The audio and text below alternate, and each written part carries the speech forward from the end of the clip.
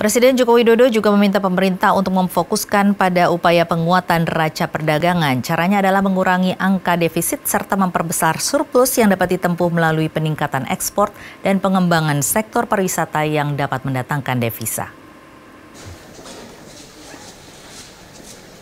Dalam hal menekan angka defisit, Presiden mengingatkan jajarannya untuk berkonsentrasi pada langkah-langkah terobosan yang dapat dilakukan untuk mengurangi tingkat impor bahan bakar minyak yang selama ini diketahui menjadi penyumbang defisit terbesar.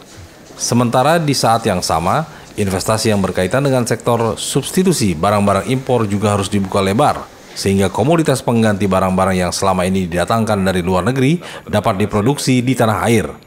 Presiden mengingatkan akan optimalisasi program peningkatan penggunaan produksi dalam negeri dengan memastikan bahwa proyek-proyek pemerintah memaksimalkan penggunaan barang dan atau jasa yang telah memiliki sertifikat tingkat kandungan dalam negeri sesuai dengan yang telah ditentukan.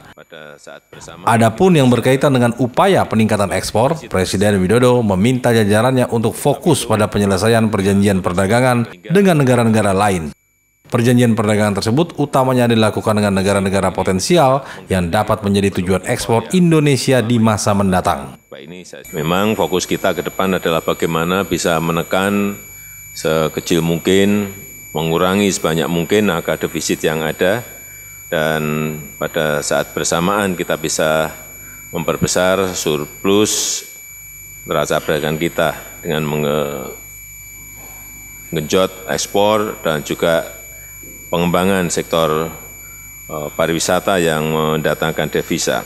Selain itu, Kepala Negara juga menekankan upaya promosi besar-besaran, baik promosi terhadap produk-produk ekspor Indonesia maupun promosi terhadap sektor wisata dan investasi Indonesia. Presiden menggarisbawahi agar upaya promosi atau pameran yang dilakukan dapat dipersiapkan dengan baik sejak jauh hari, sehingga dapat membangun sebuah citra yang baik bagi Indonesia dan mendatangkan manfaat nyata.